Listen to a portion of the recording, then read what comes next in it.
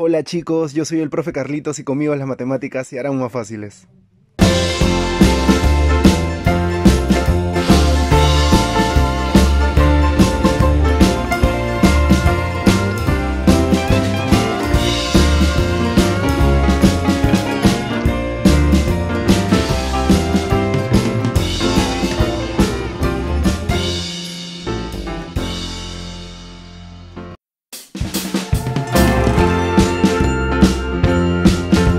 Muy bien chicos, hoy vamos a ver el tema entonces de sumas notables. ¿Ok? Vamos a ver estos ejercicios que tenemos por acá.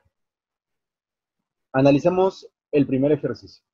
Me dicen, encontrar el valor de m en, y me dan sumatoria desde n15 hasta m, que bueno, justamente es el valor que queremos encontrar, de esta función 2n, me tiene que dar 846. Muy bien. Planteemos entonces ¿cómo es que tendríamos nosotros nuestra expresión? Bueno, más o menos nos quedaría eso. A ver, veamos. Voy a poner por acá. La fórmula es 2 por n, ¿cierto? Y ¿desde qué n partimos? Desde el 15. Entonces comenzaríamos con 2 por 15. Luego vendría 2 por 16. Luego vendría 2 por 17. Y así vamos avanzando hasta llegar a 2 por m. No sabemos cuánto vale m, ¿ok? No sabemos cuánto vale m. Lo que sí sabemos es que la sumatoria de todos estos números debe ser igual a 846. ¿Ok? Muy bien. Tenemos entonces esa sumatoria que está por ahí. Si nos damos cuenta, a la hora que multipliquemos, ¿no? 2 por 15, 2 por 16, 2 por 17, lo que se está generando es la suma de números pares, ¿cierto? Y así voy avanzando hasta llegar a 2m. Se está generando entonces la sumatoria de números pares. Pero no estoy empezando desde el primer número par, que es el 2, como está en la fórmula, digamos, este, que hemos visto de suma de números pares sino que estamos comenzando del 30. Entonces, lo que podríamos hacer acá es lo siguiente. Observa. Podemos plantear esta sumatoria del siguiente modo. Podemos decir, ok, los números pares, la fórmula completa, digamos así, sería 2 más 4 más 6, ¿verdad? Más 8 más 10, así. Y, digamos, yo podría llegar hasta 28. ¿Ok? Luego vendría el 30, el 32, el 34, ¿Qué es lo que si podemos eh, observar está apareciendo en la sumatoria que nos han dado en este ejercicio. Muy bien, entonces nosotros podríamos decir lo siguiente. La suma original del ejercicio era 30 más 32 más 34 hasta 2m. Eso comienza a partir de acá, 30 más 32 más 34 hasta 2m. ¿Qué le hemos agregado para completar nuestra fórmula de suma de números pares? Le hemos agregado toda la parte que está acá, desde el 2 hasta el 28. Entonces, como todo esto yo lo he agregado, no lo puedo agregar de la nada, ¿cierto? Para que, digamos, la igualdad se mantenga, si agregué eso por ahí, pues acá también yo tendría que agregar esto. 2 más 4 más 6, hasta el 28. ¿Ok? Digamos que en ambos lados hemos agregado lo mismo y por ende la igualdad se mantiene. Muy bien. ¿Cuál es la fórmula de, de la suma perdón, de los n primeros números pares? La fórmula me dice, tú analizas solamente el último número par de la sumatoria. El último número par es 2m. ¿Ok? 2m. Entonces, la fórmula nos dice lo siguiente. Vamos a ponerlo por acá. A este último número, a este último número par, tú le vas a sacar la mitad. La mitad de 2m es m. Y lo vas a elevar al cuadrado. ¿Ok?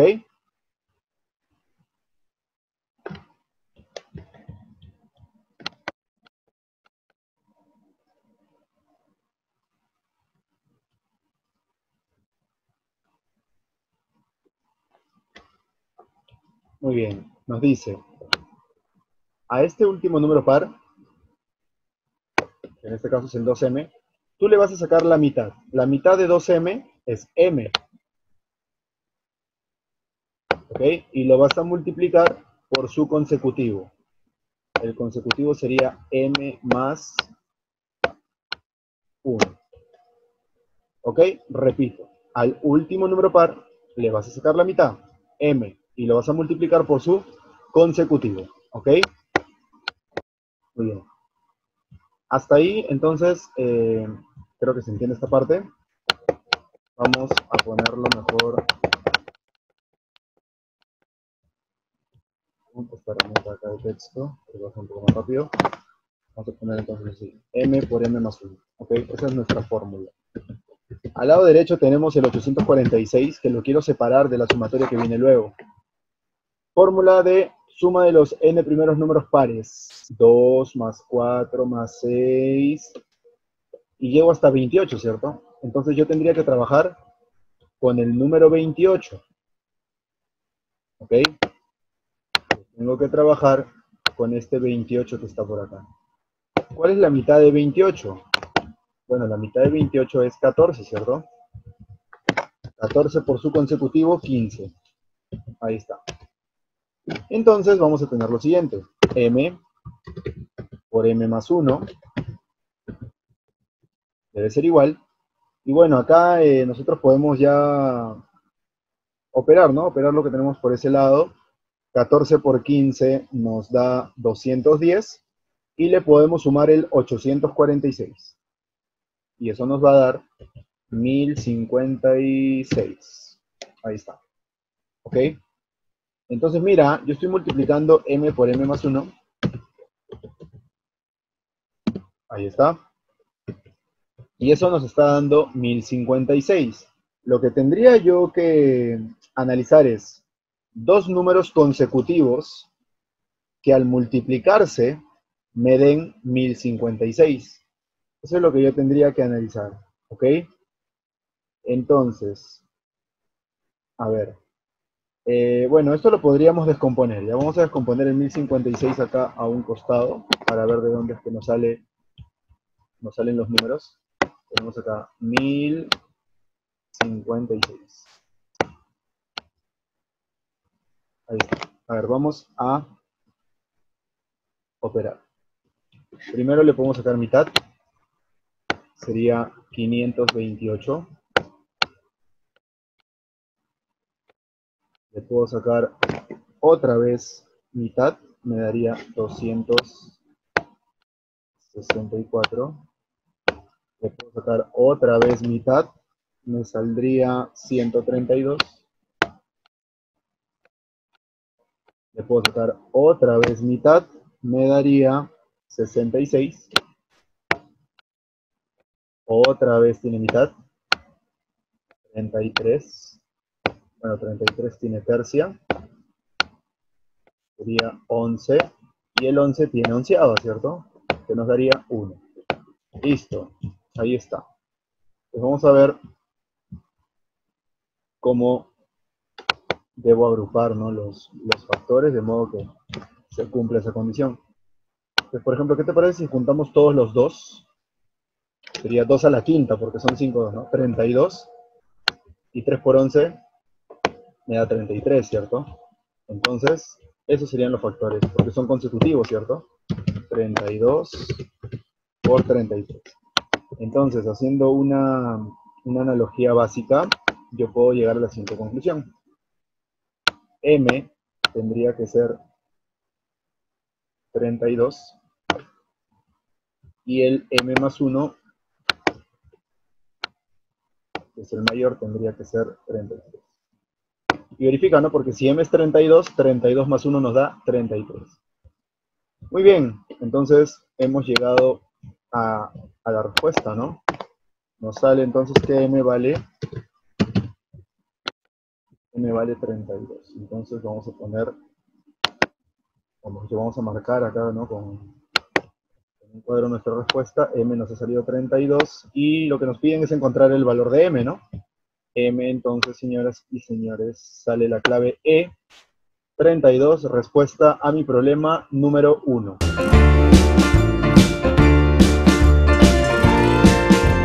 Muy bien, problema 2, nos dicen calcular el valor de la siguiente serie. Y nos dan esta forma peculiar, mira, 1 al cuadrado por 2, más 2 al cuadrado por 3, más 3 al cuadrado por 4, y así tenemos 15 sumandos en total. Entonces vamos a poner acá lo siguiente, ¿ok? Tenemos el 1 al cuadrado, este 2 lo, ponemos, lo podemos poner como 1 más 1. Acá tenemos 2 al cuadrado, ese 3 lo podemos poner como 1 más 2. Por acá tenemos 3 al cuadrado, ese 4 lo podemos poner como 3 más 1, o 1 más 3, ¿ok? Y así vamos a seguir avanzando. Y ojo, tenemos, ¿cuántos sumandos? 15, ¿verdad? Y fíjate en la, en la forma que tiene esta serie, ¿no? El primer sumando comienza con 1, el segundo comienza con 2, el tercero comienza con 3. Por ende, el decimoquinto empezará con 15, ¿cierto? 15. Fíjate que dentro del paréntesis lo que nos queda es 1 más que el número que está afuera, ¿no? 1 más que el número que está afuera. Entonces acá sería 1 más que el número que está afuera, que es 15. Listo. Me quedaría de esta manera. Obviamente, eh, por cuestiones de, las herramientas que tengo, no he podido poner los cuadrados, los voy a, aumentar ahorita. Acá tengo 1 al cuadrado, 2 al cuadrado, 3 al cuadrado, hasta 15 al cuadrado. Muy bien. Entonces, eh, ahora vamos a, a hacer una propiedad distributiva básica. Ok, propiedad distributiva entonces. Bueno, recuerden que los primeros son al cuadrado, ¿ya? No, no están viendo, pero 1 al cuadrado por 1, yo lo puedo poner como 1 elevado al cubo. ¿Ok? Voy a dejar un espacio para que se, vea mejor el exponente. 1 al cubo más 1 al cuadrado por 1 va a ser 1 al cuadrado. Bueno, en este caso 2 al cuadrado por 1 me va a quedar 2 al cuadrado y 2 al cuadrado por 2 a la 1 me va a quedar 2 al cubo, y así voy a ir avanzando con los 3, con los 4, con los 5, hasta llegar al 15, ¿no? 15, 15, ya está. Vamos a, colocar entonces los exponentes, ¿ok? Bueno, acá era 1 al cuadrado por 1, lo puedo poner como 1 al cuadrado, y acá 1 al cuadrado por 1 a la 1 le puedo poner acá, 1 a la 1 para que 2 más 1 me dé 3. Acá igual, ¿no? 2 al cuadrado por 1 es 2 al cuadrado, lo mismo. Y 2 al cuadrado, acá le puedo poner 2 a la 1 para que me dé 2 al cubo, ¿no? Por teoría de exponentes. 3 al cuadrado por 1 sería 3 al cuadrado, lo mismo. Y 3 al cuadrado por 3 a la 1 me daría 3 al cubo. Aquí igual, 15 al cuadrado por 1 es 15 al cuadrado y 15 al cuadrado por 15 a la 1 me daría 15 al cubo. Y muy bien, si nos damos cuenta, lo que acabamos de generar es lo siguiente. 1 al cuadrado, más 2 al cuadrado, más 3 al cuadrado, y seguiríamos, ¿no? 4 al cuadrado, 5 al cuadrado, 6 al cuadrado, hasta llegar a 15 al cuadrado. Y por otro lado tengo esto. 1 al cubo, más 2 al cubo, más 3 al cubo, más 4 al cubo, más 5 al cubo, hasta llegar a 15 al cubo. Entonces, si me doy cuenta, puedo aplicar dos fórmulas acá. La fórmula de los primeros cuadrados perfectos y la fórmula de los primeros cubos perfectos, ¿ok? Son dos fórmulas entonces que yo puedo aplicar acá. Veamos cómo las aplicamos entonces. A ver. Vamos a aplicar entonces las dos fórmulas, ¿ok? Muy bien. Bueno, en el caso de, en el caso de la suma de, cuadrados perfectos, ¿cierto? 1 al cuadrado, más 2 al cuadrado, más 3 al cuadrado. Recuerden que hay una fórmula. Y la fórmula es la siguiente. La última base, que sería 15, va a equivaler a n, ¿cierto? Lo voy a poner con paréntesis.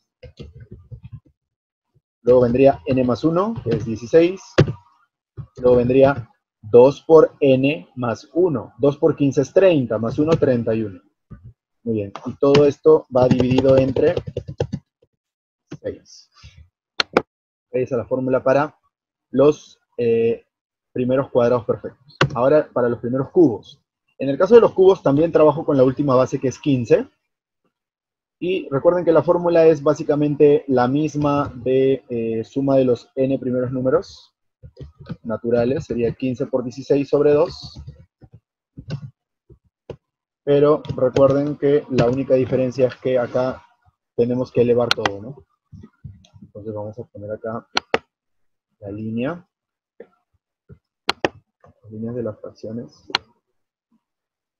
Ahí tenemos una y acá está la otra. Muy bien. Ahí lo tenemos. Eh, ya, esta es la fórmula para cuadrados perfectos y esta es la fórmula para cubos. Ah, bueno, lo que me está faltando agregar sería simplemente eh, el cuadrado, ¿no? Todo esto de acá debe estar elevado al cuadrado. La fórmula es n por n más 1 sobre 2 al cuadrado. Y listo, ahora hay que simplemente, simplemente hay que operar esto. A ver, comencemos con la parte de eh, la sumatoria de cuadrados, ¿no? Es 15 por 16 por 31 entre 6, ¿ok? Bueno, acá para comenzar yo podría eh, hacer una simplificación, una simplificación básica.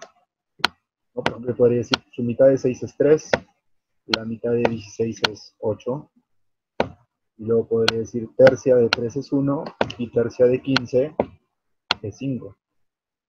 Ahí está. Entonces me quedaría 5 por 8 que es 40, y 40 por 31 nos va a dar 1240, ¿ok? 1240, vamos a por acá entonces, 1240. Más, y ahora me faltaría la parte de acá, la de la suma de cubos, ¿cierto? Bueno, ahí también podría eh, hacer una simplificación, mitad 1, mitad 8, y me quedaría 15 por 8 elevado al cuadrado, ¿verdad? Bueno, 15 por 8 es 120, ¿no? Y 120 al cuadrado me va a dar 14.400, ¿ok? Vamos a poner por acá. 14.400. Un poco más para que el resultado. Entonces, eh, sería 1.240 más 14.400, ¿no? Y eso nos va a dar 15.640. 15.640. Listo, hay que buscar entonces en dónde encontramos esta respuesta, ¿no? 15.640. Esta, ¿no? 15.640. Clave C, entonces, es la respuesta al ejercicio número 2.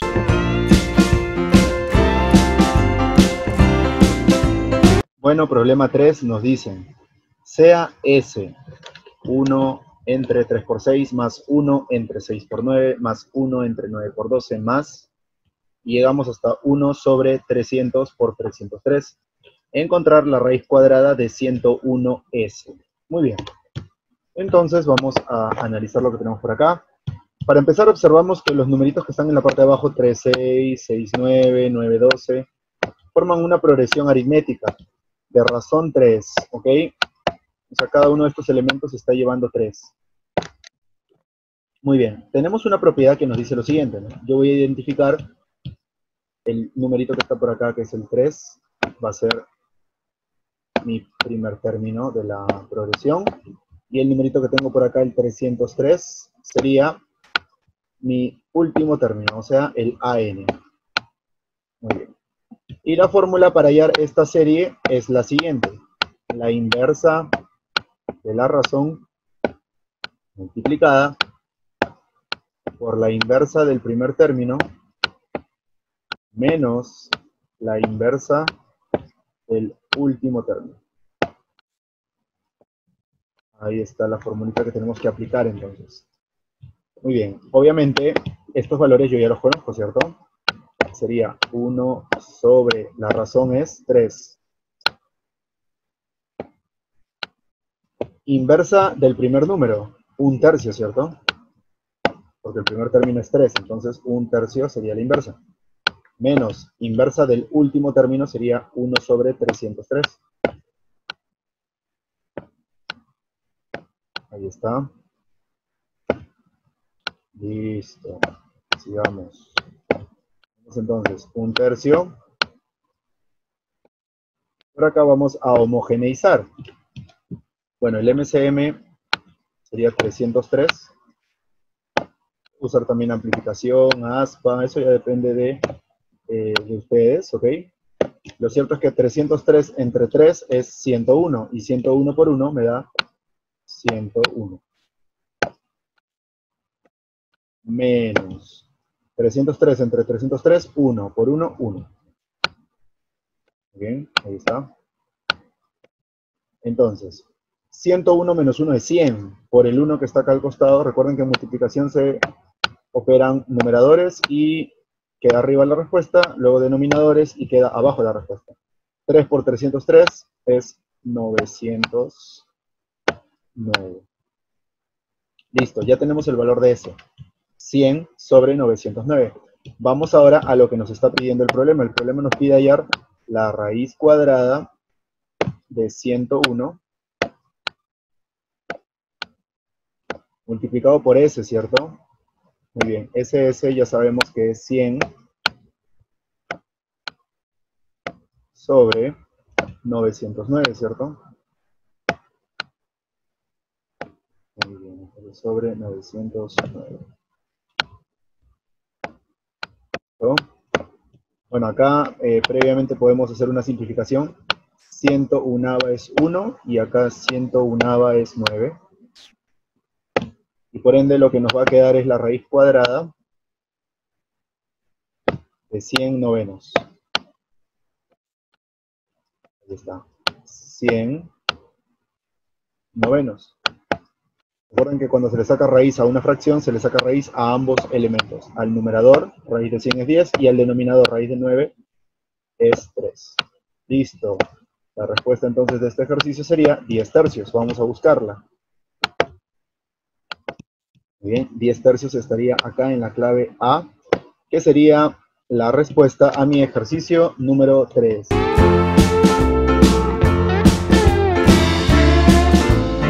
Bueno, en la número 4 nos piden el valor de la siguiente suma. Y mira, tenemos, a diferencia del anterior, abajo ya no solamente hay dos factores, sino que ahora tenemos tres factores. 1 sobre 2 por 4 por 6, más 1 sobre 4 por 6 por 8, más 1 sobre 6 por 8 por 10, y así vamos avanzando hasta 1 sobre 40 por 42 por 44. Tenemos que llegar a esta suma, entonces vamos a ver qué podemos hacer. A ver.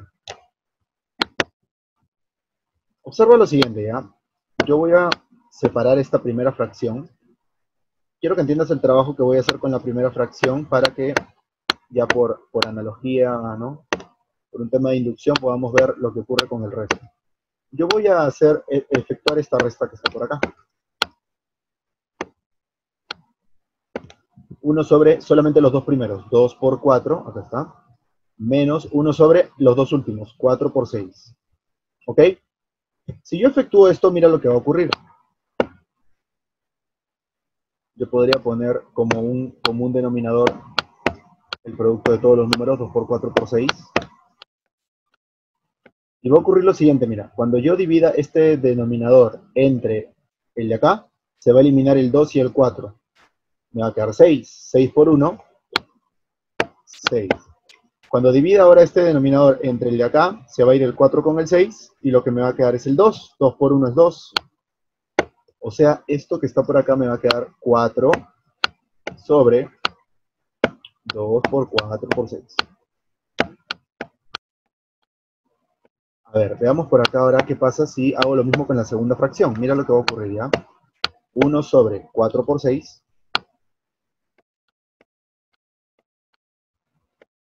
Menos 1 sobre 6 por 8. ¿Ok? Primero junto los dos primeros factores y luego le resto la inversa de los dos últimos. ¿Ok? Entonces mira lo que va a ocurrir acá, ¿no? Igual, pongo un común denominador que sería 4 por 6 por 8 y a la hora que proceda a eh, efectuar la división, ¿no? 4 por 6 por 8 entre 4 por 6, se va el 4 con el 6, me queda 8 por 1, 8. Menos.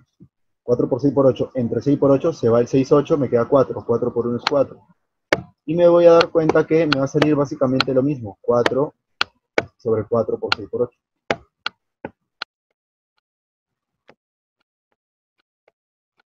Listo. Ahí está. Muy bien, entonces básicamente lo que podríamos, digamos, ir deduciendo, porque si quieres lo comprueban con el de acá y va a ser lo mismo, es que el número que queda en la parte de arriba, que en este caso es el 4, se genera de la diferencia de estos dos, 2,6, 4,8, 6,10, y si se dan cuenta siempre la diferencia va a ser 4. Es más, si nos vamos al último, 40 y 44 también se diferencian en 4. ¿Ok? Vamos a hacer por si acaso, como para que quede ya recontra claro, un ejemplo más con esta tercera fracción, ¿ok? Sería 1 sobre 6 por 8. 1 sobre 6 por 8 menos 1 sobre 8 por 10, ¿cierto? 8 por 10. Bien, entonces sería igual, ¿no? Más pongo el común denominador, que sería 6, 8, 10.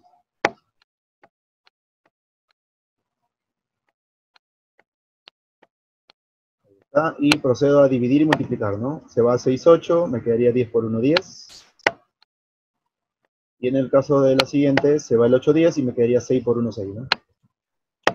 Y mira entonces lo que me va a quedar. 4 sobre, sería 6 por 8 por 10. Muy bien. Y así voy a ir avanzando, ¿no? Hasta llegar a la última fracción que me han dado por allá. Okay, simplemente por una cuestión de ya no estar copiando lo mismo, ya creo que con el tercero estoy más que seguro de lo que, se, de lo que vamos a analizar a continuación. ¿Ok? Yo voy a llamar a toda esta expresión que está por acá toda la expresión original que está por acá, vamos a suponer que fuese A, ¿ok? Toda esta sumatoria que está por acá le vamos a llamar A. Fíjate que lo que me ha salido acá de las operaciones que yo planteé, los denominadores coinciden. Ah, mira, 2 por 4 por 6, 2 por 4 por 6. 4 por 6 por 8, 4 por 6 por 8. 6 por 8 por 10, 6 por 8 por 10. Y así va a continuar. El detalle está con el numerador, ¿no? Porque mira, mientras que acá los numeradores eran unos, acá el numerador es 4. Entonces, ¿qué podríamos decir? Que la expresión que me ha salido acá es el cuádruple, ¿cierto? Esto de acá sería el cuádruple de A. Todo esto que está por acá. Sería el cuádruple de A. Pero la pregunta sería, ¿no? ¿Yo quiero el cuádruple de A? No, yo solamente quiero A.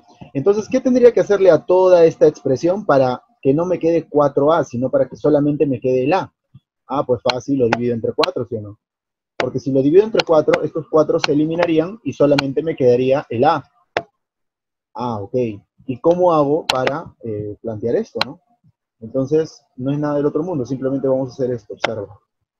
Vamos a borrar esta parte porque creo que ya quedó claro lo que quiero hacer. Vamos a simplemente hacer lo siguiente. Todo esto que tenemos por acá, este resultado,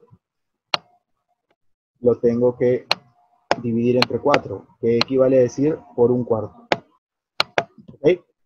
Todo esto que me salió acá, un cuarto tiene que tener adelante. Entonces, por acá simplemente voy eh, añadiendo. Este 1 sobre 4. Por acá también, ¿no? Así. 1 sobre 4. Listo. Ahora sí, toda esta expresión equivale a lo que está arriba. Pero sabemos que, vienen los puntos suspensivos y nos faltó analizar esto que está por acá, ¿cierto? ¿Cómo sería su descomposición? Sería 1 sobre 40 por 42. Ok, 40 por 42 menos 1 sobre 42 por 44. ¿no? Ahí está. 42 por 44. Muy bien. Y alguien dirá, ¿no? ¿Y para qué está haciendo tanta cosa? No entiendo. Bueno, observa.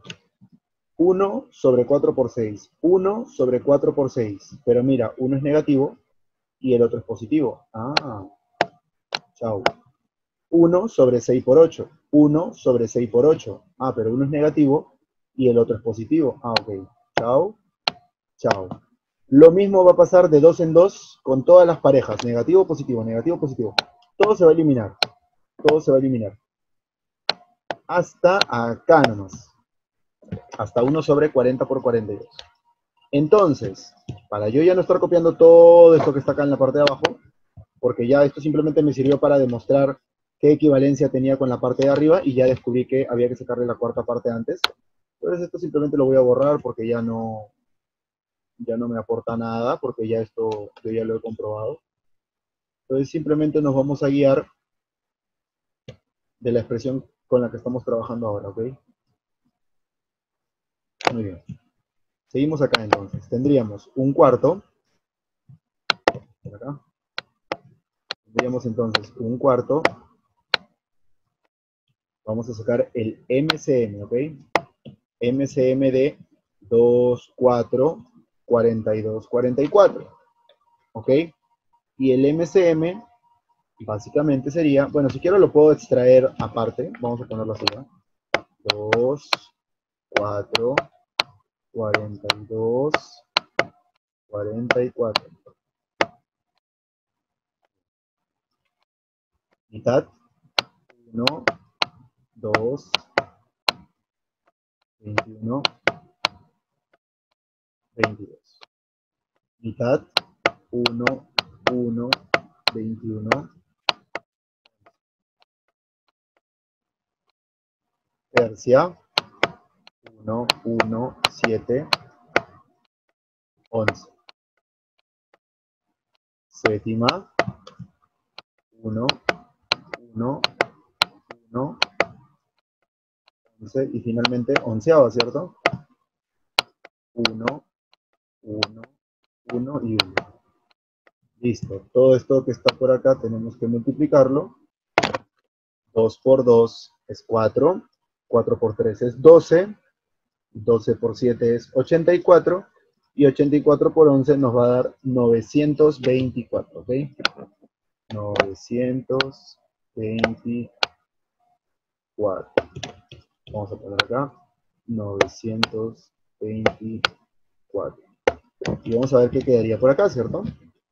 A ver, acá 2 por 4, lo voy a poner otro color para que no, no se confundan. 2 por 4 es 8. Y acá 42 por 44 es.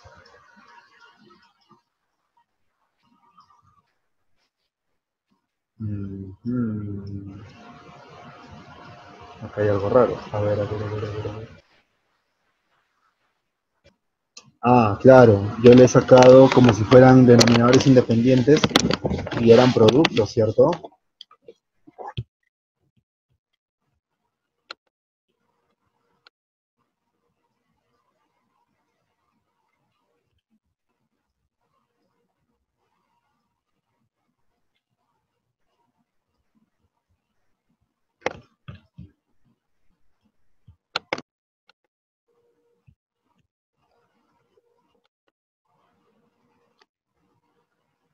Muy bien, entonces voy a reducir por acá, ¿ok?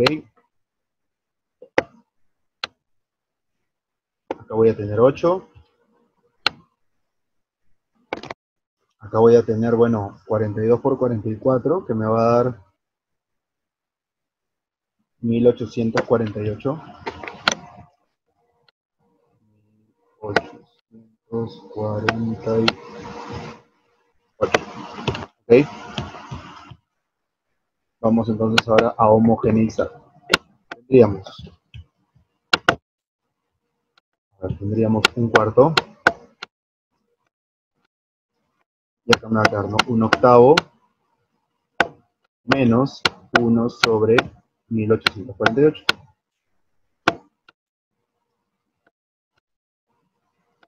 Ahí está.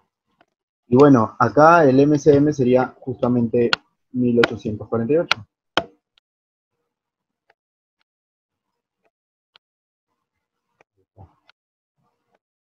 Obviamente vamos a dividir ese 1848 entre 8, que nos va a dar 231. Lo vamos a poner acá, porque a multiplicarse por 1 sale lo mismo, ¿no? 231 menos, y bueno, acá sale 1 por 1, 1, ¿no? Ahí está. Esto, un 4. O sea, esto que está por acá nos va a quedar 231 menos 1 es 230, ¿cierto? Nos va a quedar por acá entonces 230 sobre 4 por 1848. 1848 por 4 nos va a dar 7392.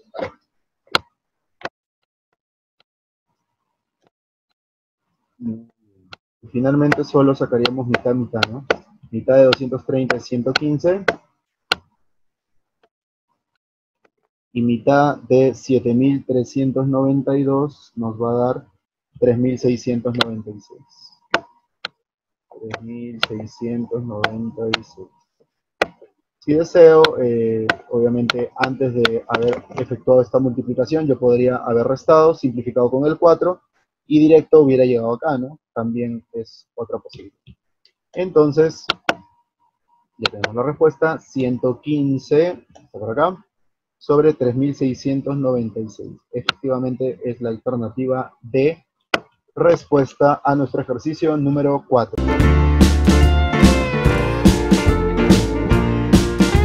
Bueno, en el problema 5 me piden hallar la suma de un séptimo más 2 sobre 7 al cuadrado más 1 sobre 7 al cubo, más 2 sobre 7 a la cuarta, y así continuamos. Muy bien. Eh, voy a separar estos sumandos, todos los que tienen numerador 1, ya, un séptimo, 1 sobre 7 al cubo, 1 sobre 7 a la quinta, y así todos los que tengan abajo un 7 elevado a un exponente impar. 1, 3, 5, 7. Y también voy a juntar a todos aquellos que tengan como numerador a 2, es decir, que tengan exponente par, ¿no? 7 al cuadrado, 7 a la cuarta, 7 a la sexta, etc. Entonces vamos a juntarlos y nos va a quedar más o menos de la siguiente manera. 1 sobre 7 a la 1, más 1 sobre 7 al cubo, 1 sobre 7 a la quinta, y así vamos eh, avanzando. Obviamente tendrían todos los exponentes impares que pueda tener ese 7. ¿Ok? Más, ahora vamos con la parte de azul, y en la parte de azul nosotros tenemos 1 sobre 7 al cuadrado, más 1 sobre 7 a la cuarta,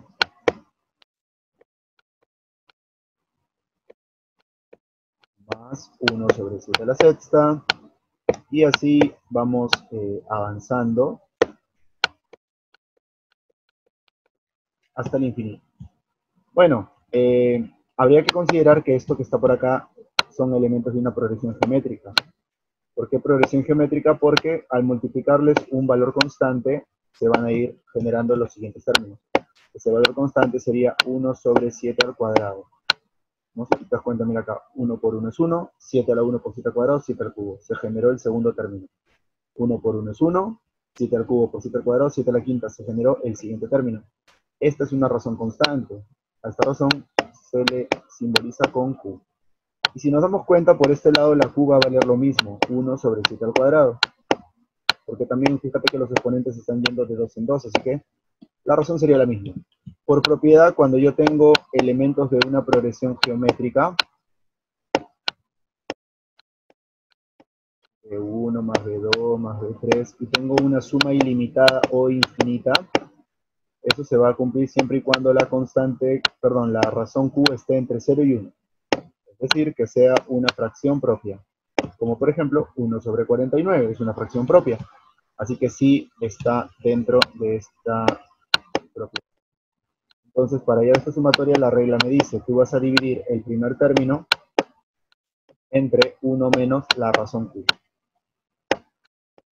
Muy bien, veamos cómo quedaría entonces para el ejemplo que estamos acá resolviendo. Bueno, el primer término es 1 sobre 7, un séptimo. Este es el primer término. Sobre 1 menos la razón. La razón sería 1 sobre 7 al cuadrado, ¿cierto? O 49 también lo puedo poner, ¿no? Muy bien. Más. Vamos ahora con la parte de azul. Primer término, 1 sobre 7 al cuadrado. Vamos a poner 1 sobre 7 al cuadrado. Sobre 1 menos la razón, que sería 1 sobre 49 también. Muy bien. Ah, como necesito fracciones homogéneas, acá puedo eh, amplificar por 7 arriba, por 7 abajo. De modo que abajo me va a quedar 7 al cuadrado al igual que acá, y arriba 7 por 1 es 7, ¿no? Muy bien. Mm, acabo de notar algo que he hecho mal. Y acá eran dos, ¿verdad? Muy bien. No pasa nada, todo es arreglable. Ahora sí. Ahora sí está correcto. Vamos entonces a operar. Bueno, dijimos que como acá se van a volver homogéneas, 7 por 7, 49, 7 al cuadrado es 49, entonces acá es 49. Veamos que queda en la parte de arriba. 7 por 1 es 7, más 2, porque ya lo hemos corregido, era 2, eran 2 los azules, pero 1, pero eran 2. 7 eh, más 2, entonces sería 9, ¿cierto? 9 sobre 49. Como los dos denominadores son iguales, eh, basta que reduzca uno de ellos, lo pongo acá, porque sabemos que el, el denominador igual, como son homogéneos, se repite simplemente. 49 por 1 es 49, menos 1 sería 48 sobre 49. Muy bien. Extremos y medios. Tendríamos entonces 9 por 49. Vamos a poner acá. 9 por 49 sobre 49 por 48. 49 por 48. Muy bien, vamos a simplificar lo que se pueda. 49, 49. 9 tiene 3, tiene tercia, por ejemplo, que sería 3. Y 48 también tiene tercia, que sería 16. Listo. Nuestra respuesta sería 3 sobre 16, ¿cierto? Ahí está la respuesta. Vamos a marcar la clave que tenga justamente este valor, 3 sobre 16, acá está. En 3 16 avos, respuesta al problema número 5.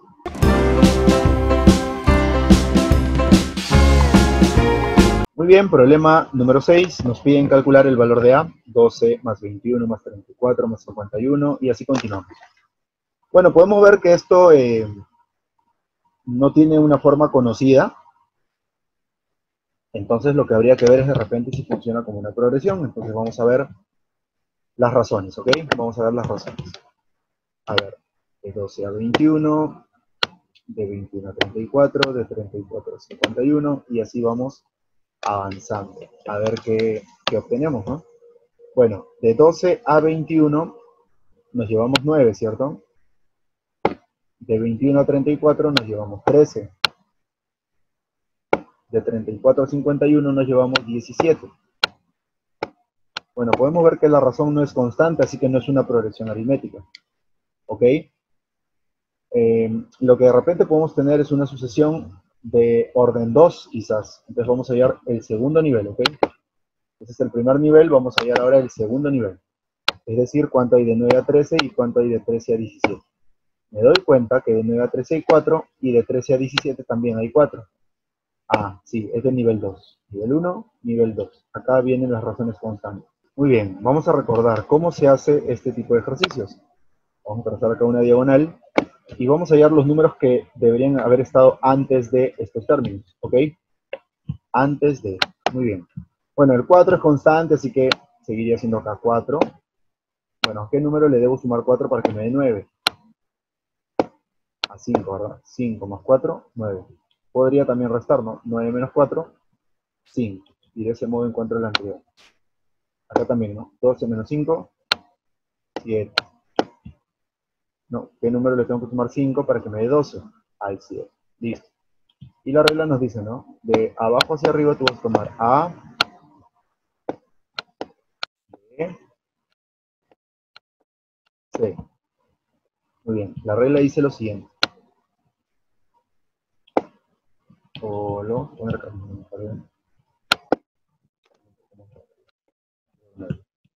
La regla dice que te acuerdes de, de esta memotecnia, ¿ok? Ya.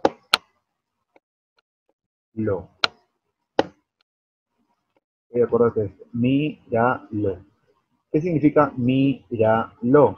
Mi es de mitad, o sea que a este 4 yo le tengo que sacar la mitad para poder obtener cuánto vale A. O sea que A vale 2, porque 4 entre 2 es 2. ¿Qué quiere decir da?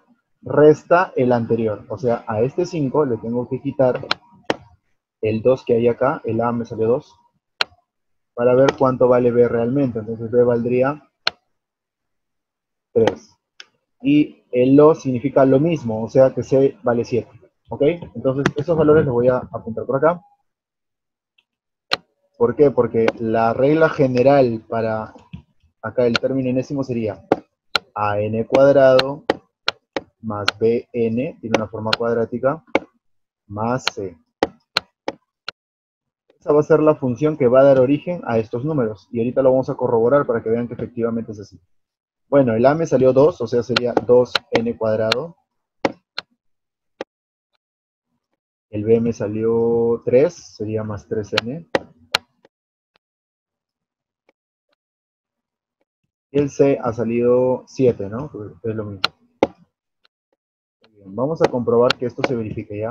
El primer término es 12, ¿cierto? Entonces vamos a ver para n1. 1 al cuadrado es 1, por 2 es 2, 1 por 3 es 3, 2 más 3 es 5, más 7, acá está, 12. A ver, probemos ahora para 2. 2 al cuadrado es 4, por 2 es 8, 2 por 3 es 6, 8 más 6, 14, más 7, 21. Ahí está. Uno más ya para terminar de comprobarlo.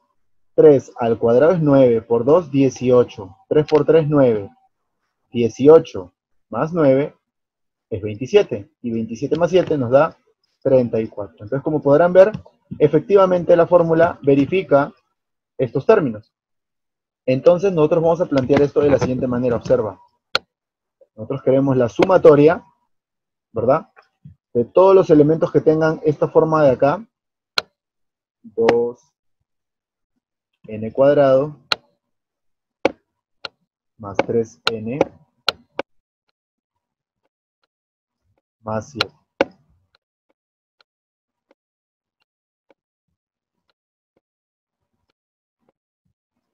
Partimos desde n1, porque con el n1 es que salió el primer término que es el 12. ¿Y hasta dónde tendríamos que llegar? Bueno, para saber hasta qué término yo tengo que llegar, tendríamos que ver este 384, qué número lo está generando. ¿Ok? Para saber qué número lo está generando, yo puedo hacer una ecuación básica. Podría poner 2n cuadrado más 3n más 7 debe ser igual a 384. O sea, tendría 2n cuadrado más 3n. Y el 384 pasaría a restar, ¿cierto? Sería 7 menos 384. Que eso nos va a dar menos 377. Igual 0. Y esto obviamente tenemos que eh, por aspa simple poder factorizarlo, sería 2n por n. Y bueno, el 377 sí habría que ver qué tiene, ¿no? A ver, 377, obviamente mitad no tiene porque es esto impar, tercia no tiene porque la suma de cifras no nos da un múltiplo de 3, quinta tampoco porque no termina en 0 en 5, séptima tampoco tiene, podría tener onceava, tampoco, Treceava sí tiene, ¿ya? Treceava es 29. Ya. Entonces, por conveniencia, el 13 lo voy a poner a que se multiplique por el 2 para que me dé 26. Y el 29 lo voy a poner acá arriba. De modo que 29 menos 26 me va a dar 3, ¿cierto? ¿A quién debería poner el menos para que me dé positivo? Al menor, o sea, menos 26. 29n menos 26n, 3n. O sea, sale lo del medio. Entonces está correcto. Entonces hallemos los valores para n, ¿no? Obviamente el 2n más 29 no nos va a dar el valor correcto porque nos va a salir negativo y fracción. No hay forma, ¿verdad? Porque por acá lo que nos va a salir es obviamente menos 29 medios. Eso lo descarto. Tendría que tomar el otro, n menos 13, ¿cierto? n menos 13 igual a 0. O sea que n debe ser 13. Listo, ya tenemos el valor de n entonces. n vale 13. Como yo sé que n es 13, acá pongo arriba, hasta el 13. Listo. Entonces, la propiedad me dice, ¿no? La sumatoria yo la puedo separar para cada término. ¿Ok? Para cada sumando, yo puedo separar la sumatoria. Y además, recuerden que hay una propiedad que me dice lo siguiente, ¿no? Si yo tengo, por ejemplo, sumatoria de, no sé, 12n, por ejemplo, si yo quiero este factor, lo puedo extraer. Y dejo solamente la variable. Entonces, teniendo en cuenta eso, me quedaría así. 2 sumatoria de n1 hasta 13 de n al cuadrado. O sea que tendríamos suma de cuadrados desde el 1 hasta el 13. Y luego de ahí el resultado por 2. Vamos con el siguiente. 3 sumatoria desde N1 hasta N13 el valor N, ¿no? Acá tengo la suma de los N primeros números naturales del 1 al 13.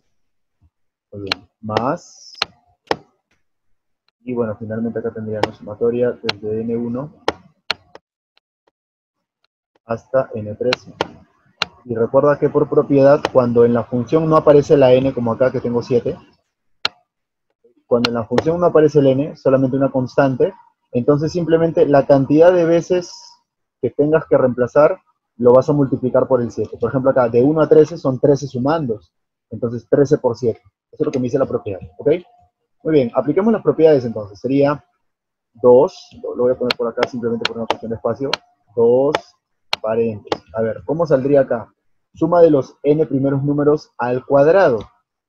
Bueno, la fórmula me dice, tomas el último valor de n que sería 13, y sería, ¿no? 13 por 13 más 1, que sería 14, por 2 por 13 más 1, que sería 27, y todo esto sobre 6. Esta es la fórmula de los n primeros números cuadrados. Continuamos acá. 3. Sumatoria de los n primeros números del 1 al 13. Ah, ya, pues la fórmula es contra conocida, ¿no? n, que sería 13, por n más 1, que sería 14, sobre 2. Muy bien. Y acá al final aplicamos la propiedad que les había dicho, ¿no? Cuando no aparece la n en la función, simplemente yo sé que de 1 a 13 hay 13 sumandos. Entonces sería 13 veces el 7 que aparece aquí. Y listo. Simplemente todo eso habría que operarlo. A ver, vamos a ver si podemos simplificar algo por acá. Mitad 7, mitad 3, tercia 1, tercia 9. Por acá, mitad 1, mitad 7. Listo. Vamos a ver entonces cuánto nos queda. Bueno, en la primera parte tendríamos 2 por 13 por 7 por 9, ¿no? Muy bien, todo eso nos va a dar 1638. Poner acá, 1638. Más. Vamos ahora con la siguiente suma. Bueno, la siguiente operación. 3 por 13 por 7, ¿no? Esto nos va a dar 273. 273. más, y finalmente 13 por 7 se dan. 13 por 7 que nos va a dar 91. 91. Y listo, tendríamos que sumar todos esos resultados, que sería 1638 más 273 más 91. Y eso nos va a dar 2002. Que sería la respuesta de este ejercicio. 2002. Listo. Damos la clave para marcarla. 2002, clave C. Muy bien. Esa sería la respuesta entonces a mi ejercicio número 6.